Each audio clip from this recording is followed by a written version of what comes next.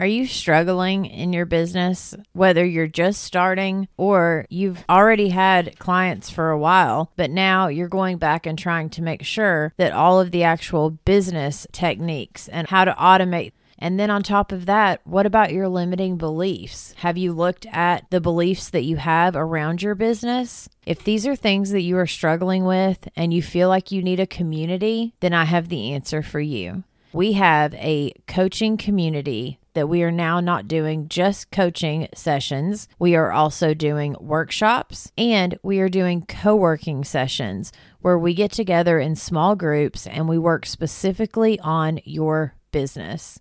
If this is something that you are interested in, go to proorganizerscoach.com and click the membership tab or you can go directly to calendly.com slash proorganizerscoach slash consultation to set up your free 30 minute Zoom consultation with me where we can talk about the best ways that I can help you, whether it's my one on one coaching program or it's the community of other professional organizers that I'm helping on a daily basis. We would love to see you in there. And if you've not joined the Facebook group, make sure to go to facebook.com slash groups slash pro organizers coach to join today. All of the links will be in the show notes below, and all of the links will be at proorganizerscoach.com. So now let's get on with today's episode. You are listening to the Pro Organizers Coach podcast. I'm Samantha Brown, a professional organizer and business coach. In this podcast, you will learn how to start and scale the organizing business of your dreams. So let's jump in. Welcome back to the Pro Organizers Coach podcast. On today's episode, I have Palak. She is from Naples, Florida. She's a professional organizer, and her business is called Every Space Counts by Palak. And so Palak uses different social media in her business. And what I wanted for you all was to have an episode that was that was talking with with a professional organizer that uses social media to grow her business and her following. And then i also am wanting to bring on a different organizer that has not used social media. So then for you as the listener that's just starting your business or even if you've been doing this for a while you can kind of decide for yourself is this something that i want to do? Do i want to use social media or do i not? Thank you Palak for being on the podcast it's actually my first podcast. So I'm very excited to share all my excitement news and all my reviews to my clients. First, I really would love to hear um, how long have you been a professional organizer and kind of what made you become one? Sure. I mean, I'll give you a little bit about me and my background. By profession, I'm also a physical therapist for about like 20 years now. So working with like a lot of clients, like a lot of senior and young clients, and I have been in home health for all this year. So I have seen a difference, like when there is a clutter-free home versus a cluttered home. And then my niche was always like an organizing um, path. Every time I go to a patient's home, I would see that you know things don't run together like medicines are not organized properly or like there are stuff sitting in the hallway or the closet when they're trying to reach with the wheelchair or walker um, I used to get frustrated and then I would go and fix them, uh, you know, leaving my therapy part. And they would be so happy. And the next day, or they would call me or leave me a little card, like postcard, like, Palak, this is amazing. Like, you know, just a little five minutes of your touch changed my life. And then as I started my life into having kids, like I ended up having twin boys and like life changes after having twin boys. So working full time, having twin boys and juggling, I mean, me and my husband, like we really needed an organized life. And um, both of us like struggled initially for first few months but my life was always organized. Like and i started like you know um, organizing my not only starting kids room to a kids schedule like i traveled by myself samantha all by myself to india carrying twin boys when they're only 13 months old. I had a scheduled plan. Like organization doesn't mean like you know it's just a room to like house but it also has to be a schedule I had everything packed properly. My schedule was like 9 a.m. I'm going to feed my kids. 10 a.m. I'm going to change the diaper. 10:30 they're going to be sleeping so that I can eat properly on my flight. So that actually turned out to be a passion then. And a lot of friends and like my patients would reach out to me saying, would you help me to do this? Like, you know, and then back in 2018, I really turned my passion into an organization that I wanted. And as I went, I had small clients, like, you know, and then I thought of doing an online class. And I was like, wow, it's actually a school that I can go back and find out how I can organize more professionally, which can help my clients. Um, so I joined Beth actually uh, back in 2020 20 when COVID hit. And um, she actually um, helped me to get into a more professional scope back in 2020 when COVID hit with everything was shut. And I never realized that this could actually bring my passion into business and into a growing wealth where I could help my family as well. Yeah, that's amazing. I think all of us as professional organizers, you know, our background might be different, our story might be different, but for the most part, it seems to be that we have a heart to help people and that we want yes to, yeah. absolutely. I so agree. If you don't have the passion and the heart to help people you cannot be a professional home organizer or like a schedule organizer. You need to have that in your life first in your heart. Then you can be able to help others. And if you're taking money for somebody i would say you need to put your whole and soul in it yes absolutely. Yeah because you know we know it's not cheap especially once we go quote unquote legit and we're paying taxes and you know doing absolutely all of, all of the business side of things you know it does cost people money. And so i always try to remember if I was paying someone to come into my home and I was paying them this amount of money to come yes, help me in my true. home, then how would I want them to be? What would I want them to do to to go above and beyond? And you know, like I did, I put out an episode. Um, I think it was episode twelve, and we talked all about adding value to your clients and like what extra value can you give them beyond what they are expecting because then when you walk away they are going to feel like just like your five minutes that you were helping each one of your clients with physical therapy just that extra added value of that five minutes Correct. of fixing yes. things got yes. it to where people were like oh my gosh she's amazing i need her in yes. my life absolutely that made a difference like all you need is like when when you leave they should be happy and think about you like you know and I always have a habit of checking with them like at the end of the day, like just keep posting because what happens in first 24 hours stays for the rest of the life. Yes, very much so. Yeah, and then I also try to around like the either the holiday time or a few months later, I try to reach back out even if it's just by text to just right. say, "Hey, how are things going? Are there anything that we need to tweak? You know, is there anything True. else that I can help you with?" Because True. when you stay front and center in their mind, even if they haven't thought about you in a couple months, if you send them a message or even like, you know, on Thanksgiving, I'll send a cute little like um what are those called? Gifs gifts? Yes you know those True. little things. Yes that helps a lot actually. It's just like a quick reminder. Gosh i forgot about you Palak and oh my god like i i really need you here. Yes so yes. yeah that really helps. Absolutely. Awesome. So let's kind of switch gears into the social media thing because um, that's what we definitely want to talk about in this episode. So I was curious, what made you decide to use social media just in general for your business? Because I know that there, you know, a lot of people either choose to use social media or they choose not to. Or, like I always suggest to the women that I'm coaching that are just starting out, especially in the beginning, to just pick one platform and show up consistently so you at least have a place to display your before and after photos and that people can follow you and see what's going on with you.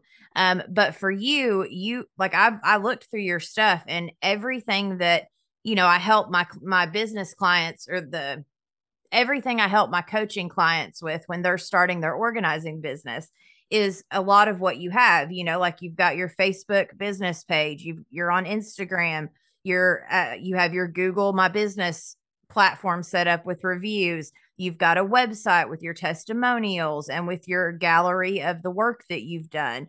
And so you've done a phenomenal job making sure that you have all of those foundational pieces. And so I was just kind of wondering what made you decide to to go that route and to make sure you had a Facebook business page, but then also now also being on Instagram quite a bit? Sure. Um, like as um, I had my expectation a lot from the senior clients to like you know um, take help from me, but senior clients they often they tend to be shy, you know, calling somebody home or they don't know exactly what professional home organizer does. But a young, lot of young moms, like you know, their kids or their daughter-in-law or like their daughter, they are always on Facebook and Instagram, and ninety nine point nine percent my clients are seniors but their kids find me. Like a lot of clients sitting somewhere in canada like you know uh, but their mom lives in naples and they found me on social media and they're like like i'm traveling so and so month but this is i'm talking about very first client like i got a client from canada. And i was like whoa uh, i mean i hope she knows that i'm not doing virtual. And she's like no my mom is in naples and i don't know how far you are from her but i did see your facebook page and that time it was just the beginning. I barely had any post, but I was just trying to reach out on Facebook on the moms group, like, you know, posting, hey, you know, I'm here starting new, but I do have experience. So stuff like that, like, you know, young moms, young um, professionals, they always try to reach you on Instagram and Facebook, especially the moms group. And that's how they found out. And a lot of my clients, like they are um, lawyers or like, you know, um, they are uh, facility managers, but they don't go and ask people. They would just put on search a search box and like you know organizer in Naples. That's how when your name pops up, they always try to take even the price code. But if from a price code, when you talk to them, they basically I will nail them down. I would like to come and do your consult. And that time you have to sell yourself that how best you are to help them. So social media, when they are looking at your page or your post, all you want is like small and short pictures and posts so that they know what you exactly do. And that's how their word is going to spread. And honest to God, Samantha, like during holiday times, people will not ask anyone. People will just put their name on the search box. Like, how can they be helped?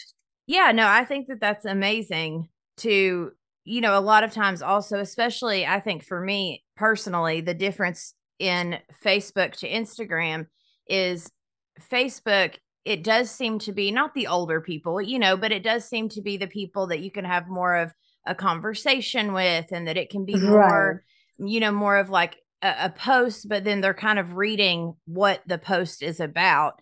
Where True. on Instagram, what I've recently realized is it really is more of a a younger crowd, but it also seems to be a better place to do actual like videos. True yeah and so that you know so each platform has its pros and cons and it i, I guess it just kind of depends on what you want to display for your business but having a facebook business page in my opinion is very vital because it's a place you can send people that every time you put something on there at least you know they're going to see what you're posting Absolutely. And it's a base platform that it connects you with the new customer, new faces, new fans. And they when you offer them key information about your business page and services, Facebook will be powerfully taking your business to the next level. And it's actually for small or business organization is the best platform. Yes, I completely agree. And so then I also was kind of curious, do you personally have a certain place that you spend more time? Or do you try to do kind of the same thing and put it on each platform? How how does that kind of work for you? So for posting on social media i always prefer first and 15th of the month because that those are the times like basically all the ads come out.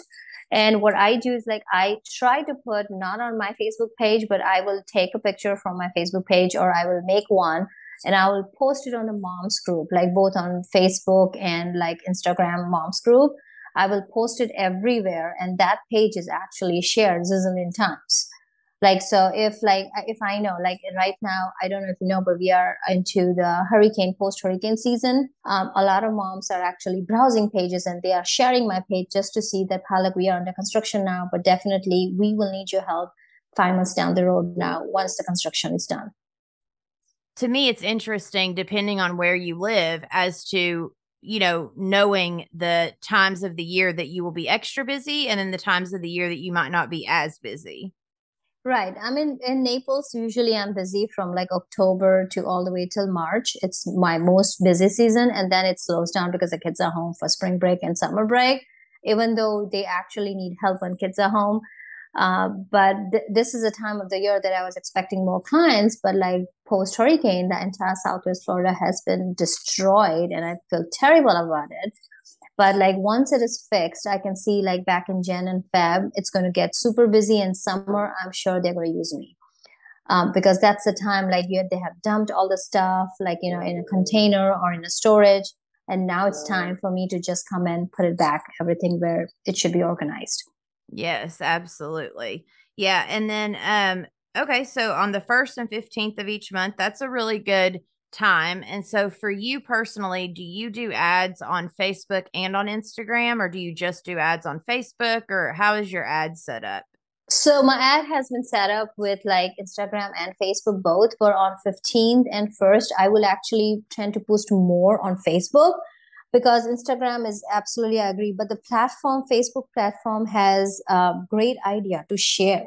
The page is shareable. So I think that's a great way to share more options because a lot of friends my they will post in their story time my page so that helps versus in instagram um, if there if even if you have like 50 friends but like your page will not be posted the first so clients have actually or the fans have to browse through the instagram stories to find you versus on facebook you'll be posted right away Yes. Yeah, because they've chosen to follow you and so then they right you are automatically in their feed when they're looking real quick, I was actually kind of curious when it comes to posting on Facebook or on Instagram. Do you have any certain like apps or tips that you use that make it easier for you? Uh, making it easy, I would say, first of all, my niche is always like to keep it more realistic. So I try to post all my pictures that are real uh, without any filters. So I would say directly posting pictures without adding any filter with videos, I might use a filter to pop up the pictures, but the work that I really want them to be like, you know, to be seen. So I would say um, go from like five seconds to like 10 seconds to 20 seconds of your pictures, or I mean, the videos. And then without a filter, use the basic picture that will give the realistic frame that about your work. Yeah. Because, and, uh, and you don't spend all of that time trying to make it look into something it's not that's a, yes. time, a time saver also yes and when it's eh, when it's time for reviews people are going to say your pictures are really like professional. But when it comes to like the timing like when i actually when i'm there at the place it has to be realistic.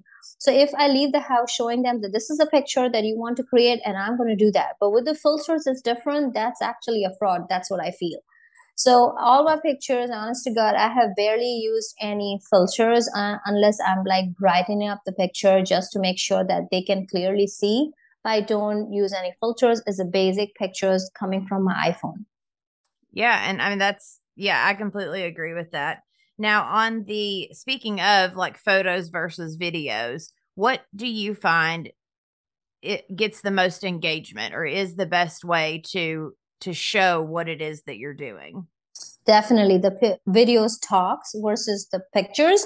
Pictures picture i would say people would just browse it but videos they can talk even though you're not in the video personally but that five second or ten second will give them a complete impact on what actually they're looking at. Yeah and would you so. say would you say when you're posting the video is it easier to do that on facebook or on instagram Absolutely. Videos are more easier, directly easy. Yes. Yeah. More easy. On yeah. Inst- on Instagram? On Instagram, yes. Yeah. And so I also, uh, which we were talking about this before we got we started recording, but on Instagram they also have the way that you can choose how you're going to do the videos. So then even if it's photos that are scrolling, it still shows it as a video clip. Yeah, those are called as Instagram Reels, and I believe that there are. I'm, I'm a firm believer that Instagram Reels travels longer than the actual videos. So even if you're making a video, it's better to make an Instagram Reel video because all your pictures they are in slideshows, and even if you add a little bit of more clips of what you're talking about, that creates our actual story or actually movie for them to actually visualize what am I talking about or what are they expecting from me. So yes, Instagram Reels are the best way to approach people, and I have always seen they travel more longer distance overseas as well, and it's shareable, so people can actually share your Instagram Reels into their private messages, and that's how uh, I have got a lot of new clients. Oh, well, then that's amazing. So definitely, yes. if you're doing Instagram, go for the reels. yeah, because a lot of time people text me like a lot of times, and they're like, uh, I'm like, I don't even know you, and they're like, yes, but I just want to be friends with you and just want to follow you, which is great. But then at the end of the month, they might be like, all right, I'll pay you for an hour or so, but I do need help and tips just to like, it's a small corner of the house, or they are stuck with something. They still call you, like you know, just being a follower Yes. Yeah. And it's a proven fact that you, for people for online, people have to know, like, and trust you. And so to get that know, like, and trust factor, they have it has now gone up. It used to be that you had to be in front of their eyes seven times. Yes, yes. Now, now it's up to 21 times you have to be in front of their eyeballs for them to consider you someone that they know, like, and trust. But once True. you once you gain that trust, yes, then, then from then on they're a super fan, not just a fan, but they are they trust you, they know you, they like you, they're they are willing to then buy from you or you know get you to come into their home which is huge as a professional organizer. Are people being able to feel like they can trust us? Absolutely. And i will share a, a short story with you. Like this is the lady i ran into at publix and she's like, "Oh, Palak, it's you. I have followed you on mom's Facebook group." And I was like, "It's so sweet, like you know, people running into grocery store and saying hi to you." So she kept following me, and then she's like, "It's nice to meet you at the grocery store." And then a couple months, and then she'll keep asking me questions based on my pictures that I was posting. And then a year later, when she bought a new house, she's like, "I'm trying to do all this, like based on your pictures, but I'm stuck here." Like you know but your stories tell i mean my video stories was telling her everything. She's like looks like is yes you have the niche you have your hands but i can't do it. I need you here. So that even creates a memory for them. Oh you know what? Palak did this in her instagram reels. I just want her to come and do the same reel with me. So yeah. that helps. Yeah. She's like why can i do it? I'm doing exactly the same thing that you did in your reel. But is then that's how when your professional hands comes on Yes. Yeah. And I've learned also for a lot of my clients too, it's not that they can't do it per se. It's more that two things. Either one, they don't have the time because they're busy working or they're busy, right. you know, doing whatever. And so they would rather spend money to get it accomplished instead True. of having to deal with the time. And then other other clients, it seems like it's more of just you know it's more fun to do it with someone and to be able to bounce ideas with someone and and to have somebody there helping you i have yes. a lot yeah i have a lot of clients that they will get stuff done in between our sessions that they would have never gotten done if we hadn't even started yes. working together. So I just feel that I'm the jump start for them. Like I honest to God, they pay me for 12, 14 hours, like with my package pricing. And then in the middle of the session, they're like, Palak, I want to accomplish this one. Like so they would ask me, so what's our next session going to be? And I was like, okay, fine. So da da da da, we are going to do this. And they're like, okay, I'm going to start and then you help me where I get stuck. So that is what you want because at the end of the session, you want your client to learn. Like, you know, they're paying you. You want them to learn to maintain. Yes. So uh, yeah, it's definitely a jump start for all the clients, which that's what you should be happy about as well. I feel. Oh, I do too, completely. Yeah. Um, yes. And one other quick question, which is kind of back to the reels, but I was curious when you're doing reels, what is a good time frame of a video or of a reel that you are posting on Instagram? A minimum of five seconds to 20 seconds at the most, because 20 seconds it will tell you whole and soul of your um, story that you're trying to input.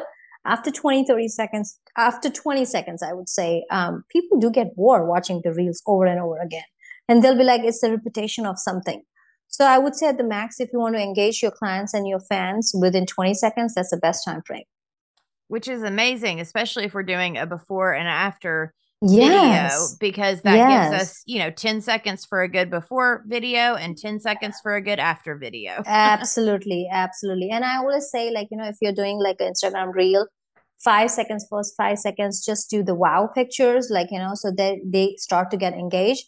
Then from five to 10 seconds, do the before and then write a little tip, like a little tip about like a Friday tip or a Tuesday tip. And then end your after pictures within like one or two seconds.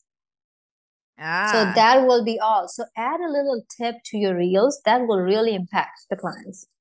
Yeah, so then they're not just seeing what you've done, but they feel like right. they they are taking they have away something. something. Yes. Yeah, they have gained something from the reels. Yeah, yeah, that's amazing. And I was actually going to ask you because I think it was on yours that I had seen about the reviews. So, do you post? Um, I think it's like a a picture, and I'm pretty sure it was yours, but it was a a picture in the background of the after photo, and then in front of it, it was a review without putting the person's full name, but yes. just putting the review of what they said about your work. Yes, and the clients has to approve that beforehand if they want their pictures like you know posted with the review.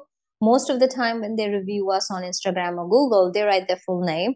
But when i'm posting it it goes out like you know within 1000 people. So i always like to check with them whether it's okay for your full name to go. Um, so last name always and the first name will be the initial with a picture. That gives an impact. Absolutely it will give you an impact. And the name will tell everything where the person is from yes yeah and you know even because a lot of my clients there's only been one or two that have been very like not wanting me to do before and after photos but that is normally because I talk about it during the consultation. So they're just getting to know me. But right. as, as we work together and as they get to know me and as they see the transformation happening in front of their eyes, then they're asking me, Can you send me the before photos? Can you send me the after photos? I want to share with people. I want to put it on social media myself. And so even if they're a little hesitant at first, they did they most of the time come, you know, are more than happy to have you do it by the time you get done working with them. Absolutely. It definitely works. Like a client just texted me recently. She's like, Palak, um, so her daughter just got married and she's like, everybody who came for the wedding, they were like, wow, what have you done to the pantry? So uh, do you happen to have the before pictures? So like I can actually share with them, look what I did.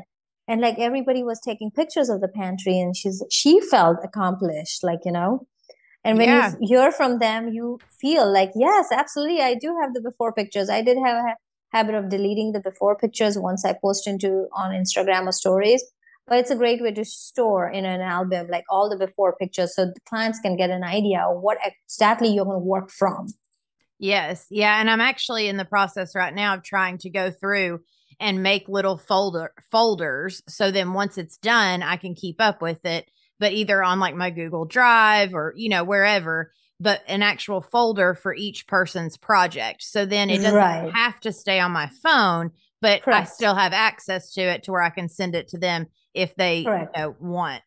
right. And I always feel like email is the best way too. Like once you start actually the conversation, if you take the conversation through an email, show them the before picture and start the conversation so follow the same link and uh, so when they are looking for something you can always browse like you know these are the emails that we started so even if you forget they will have a before after pictures or what conversation were you carrying over oh that's good yeah because then if you keep using that same e- this excuse me if you keep using the same email then like you said they can always scroll back through and have the yes. before photos without having to ask you for it and it seems more professional like hey i just sent you know sent you the before photos in this email.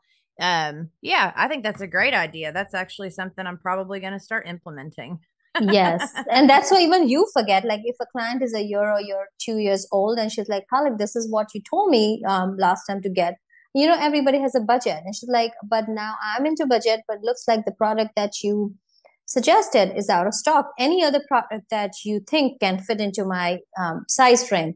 So you forgot everything about it. What happened a year ago? I don't know what was a size frame, what, you know.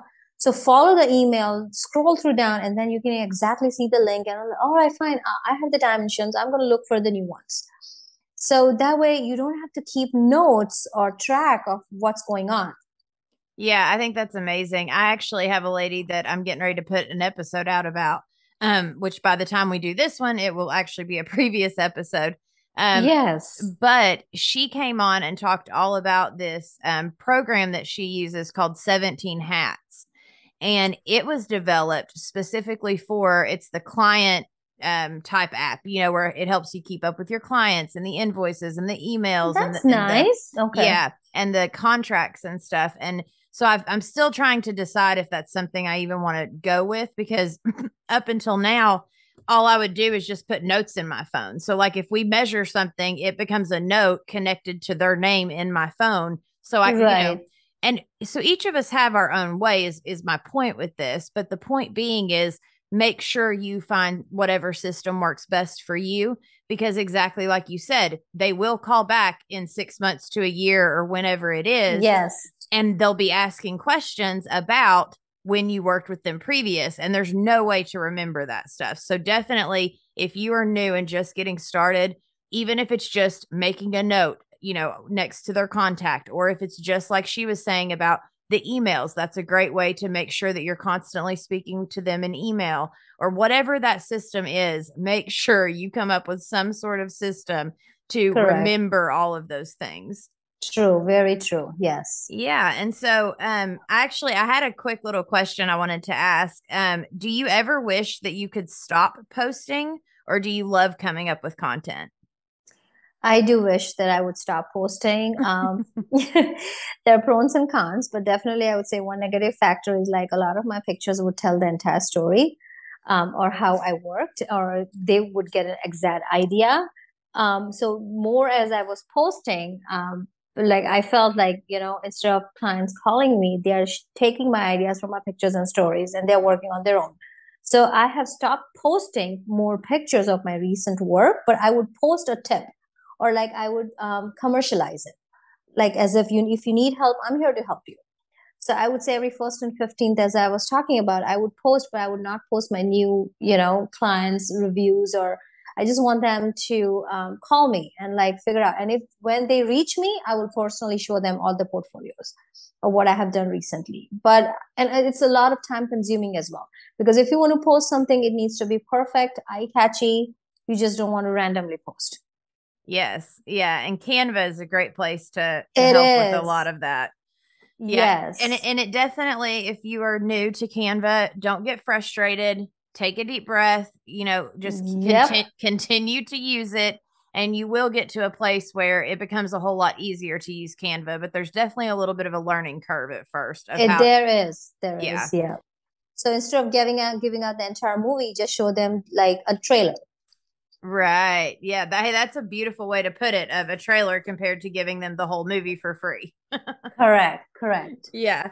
So, um, yeah, I think that that's been amazing. I appreciate um, all of the information about, you know, just social media in general and kind of the pros and cons. And of course, we know, you know, with the cons, it's it's time consuming. It takes time to learn the apps like Canva or even the apps like Instagram and Facebook. And um, I was curious though, would you say that it's been worth your money to to do the ads versus not doing the ads? Yeah, absolutely. It's worth because even if you're spending like five, ten dollars, you're getting like hundred dollars in an hour. Like, you know, um, the return is definitely impeccable. So I would say definitely it's worth. That's good. And then um so yeah, I was just kind of curious. Is there anything else that you would like the listener to know about posting or about using social media for your business or you know, anything that you wish you would have known or that someone would have told you when you were first starting out? Yeah, definitely. Like when I started out, I knew about like a lot of filters, use this app, clean out the pictures, brighten up the pictures, like, you know, take the shady pad out.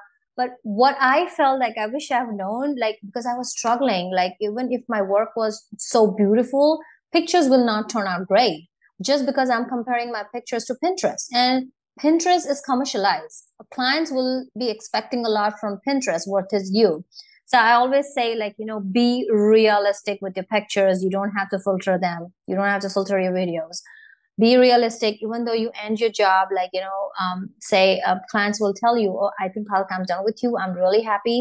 rest of the session i'm going to carry you out take the pictures even if it's half done because at the end of the session you taught your client how to finish the job so you can always write it like you know like this is what i did halfway through or because i always feared because all, a lot of my clients they'll you know call me for 10 15 hours and before i could even take pictures like ask the pictures of the entire room um, i'm done because they are so happy with me. They learn so much. They're like well Palak, i'm done and then they'll call me a few months later. So i don't have an exact after picture. But be realistic. This is how you end up because your clients are happy with you even though the pictures are undone. Yeah absolutely. So. and uh, and on that note i would like to add i have had so i don't filter any of my photos i do use canva to put like a cute little to, yeah. to make it look professional where i put yes. like the before and the after photo side by side just to make it look a little more professional but right. I will say that from that and having them on my website and just as is, like from the same angle, the before and the after, and it being that being the photo that they see. Uh-huh. I've had multiple people reach out to me and say, because it looked so messy and because it looked so real, uh-huh. was the only reason that they reached out to me compared to the other organizers. I so agree. Yes, I so agree. And 90% of the people need realistic life. Right. yeah. Kitchen is going to get messy in like 24 hours if you don't show them proper system or if they are not ready to follow system. So even if you do the pantry or the kitchen, you declutter the counters, but like in 24 hours, junk is going to be back. You need to have a proper system for that. Yes. Yeah. Yes. And, and I actually, um, real quick, I got um, certified as a life coach because I realized that for a lot of my clients, it, it was more emotional than it was physical. Like the physical space I could go in and help them with. But then, like you're saying, overnight, it's going to go right back because you've not helped them work through the emotional stuff or change right. the way True. that they're doing things. And so now I even have a lot of clients that you know, I help them with the physical stuff in our sessions, but then they start life coaching with me. And then we're able to work on how to maintain it and maybe what caused it in the first place or what makes them do that. But then that also gives them accountability where even if we coach twice a month, every time I coach with them, they want to show me how it still looks that good or it's, you know, how the progress that's coming along. And I have found that to be an amazing partnership with my professional organizing because it it keeps you in that relationship with that person to where then they are able to have accountability but also learn more of how to maintain and keep it that way. I so agree on that. I so agree on that. Very much. I appreciate you so much for coming on the podcast. And again, if any of you want to follow her, it is Every Space Counts by Palak and in Naples, Florida. And then, of course, go on Instagram and her Facebook page. But we'll have all of her links in the show notes below. And yeah, I appreciate you so much for coming on the podcast. And for you, the listener, I hope that this was helpful. And if you've been thinking about using social media in your business, we really hope that this has helped you gain some insight and ideas. We will catch you on the next one. You have been listening to the Pro Organizers Coach podcast. Go to the show notes to find all of the links mentioned in this episode and hit that subscribe and automatic download button so you don't miss a single thing. Thanks for listening.